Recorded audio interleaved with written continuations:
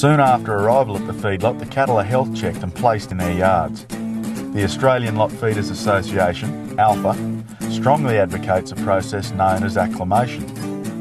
Acclimation involves calm handling techniques that allow cattle to get used to being in close proximity to humans, form new social groups, and become accustomed to being in a yard together.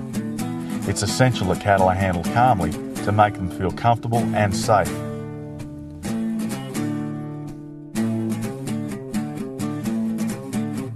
These cattle have just been let out of their yard for a trip to the end of the lane and back.